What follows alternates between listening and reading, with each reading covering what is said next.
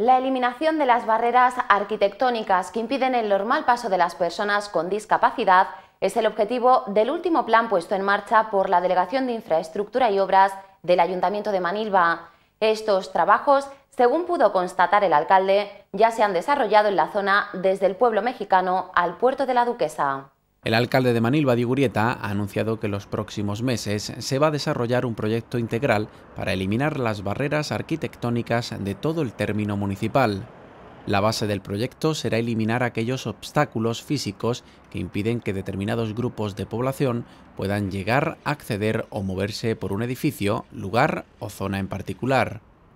Se trata del tipo más conocido de barrera de accesibilidad ya que está presente en el medio físico y es la que resulta más evidente a la sociedad. Cabe recordar que ya han comenzado estas obras y el paseo desde el pueblo mexicano al puerto de la Duquesa se puede realizar sin ningún tipo de impedimento.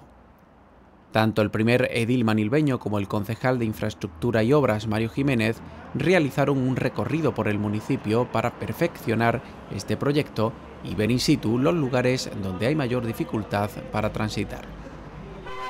Hoy se ha producido una situación muy especial y muy emotiva para mí y una de las situaciones que, que hacen que muchas veces cuando uno se plantea qué uno hace en la política, qué hace siendo alcalde, aguantando las críticas de uno y otro, cuando uno ve este tipo de cosas es cuando le dan realmente ánimo a seguir para adelante y a decir que efectivamente merece la pena ser cargo público y hacer mejoras importantes en nuestro municipio. Es una situación pequeñita la que se ha desarrollado a iniciativa del delegado de Infraestructura y Obras, Mario Jiménez, y desde aquí mi compromiso personal y político con el pueblo de Manilva, con todas las personas en general y en particular con el colectivo de personas que sufren una discapacidad y que por desgracia tienen una eh, minusvalía que les impide una reducción en su, locomoción, para que puedan hacerse un plan contra lo que es romper las barreras arquitectónicas en el término municipal. Eh, tiene una satisfacción enorme al ver a, Pepe, un vecino del pueblo mexicano, una persona emblemática,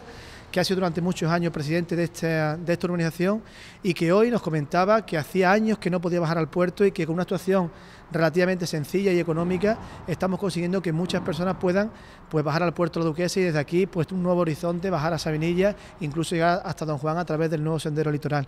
Es una satisfacción enorme, desde aquí mi compromiso personal y político en seguir mejorando lo que son las infraestructuras en general y en particular hacer un plan de choque contra lo que son las barreras arquitectónicas para que todas las personas, con independencia de su capacidad o, con independencia de que tengan algún tipo de minusvalía, puedan ir libremente por todo el municipio. Es un día muy importante y ha sido un, la verdad que ha sido un acto muy emotivo y estoy tremendamente agradecido y muy contento. De esta manera, desde el equipo de gobierno se sigue apostando por ir mejorando cada día todos los rincones de la localidad.